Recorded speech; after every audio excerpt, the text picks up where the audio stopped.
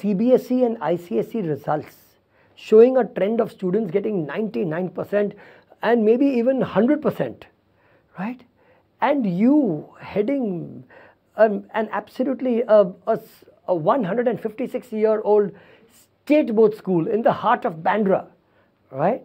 Um, do you think somewhere our students are losing out on admissions into junior colleges because of the trend in percentages going northwards, like going as high as 99 and 100?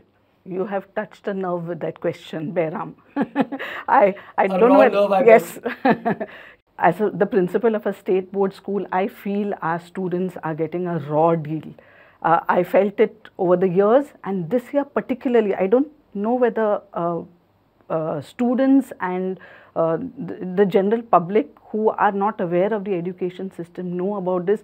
But this year particularly our state board students didn't even have the opportunity to have internal assessment in the languages and in social studies. So there were no internal marks. They had to answer a full 100 mark paper across three hours.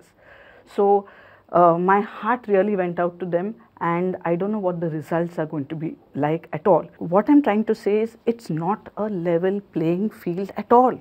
Okay, for our SSC students, definitely leave aside the the these internal marks which are going to cause a real dent because the other boards have the benefit of the internal marks, whereas the SSC students don't have. I don't know why and it was done. Had which we had. Which we this is the first. This is the first year, and uh, you know, uh, students uh, learn in different ways. Every student is not good at written work. There are some students who uh, are much better at oral work and uh, uh, producing assignments and projects. I mean, give those students a chance. Every student cannot write a three-hour paper. Yeah, 20 marks would be a godsend yeah, for such students. Would be a godsend. So that was.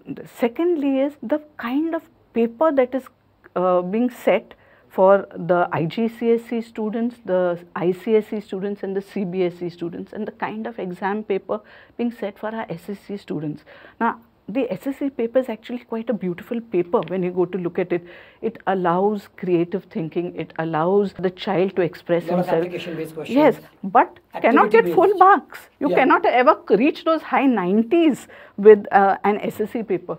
Whereas with uh, looking at the scores, see, I'm, I'm not an expert on ICSE or CBSE, so I don't know how they are uh, scoring like that. But something seems to be wrong if students are getting 500 on 500 or 499 out of 500.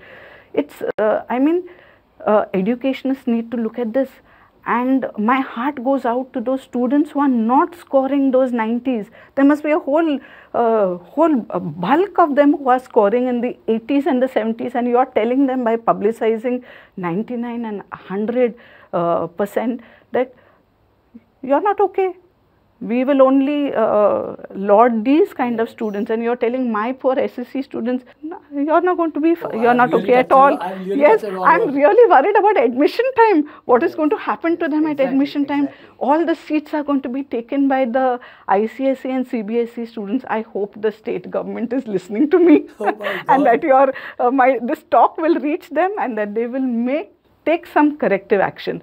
Leave aside all the other implications of the 90%. I'm talking for my state board students. I think they need to do something for them.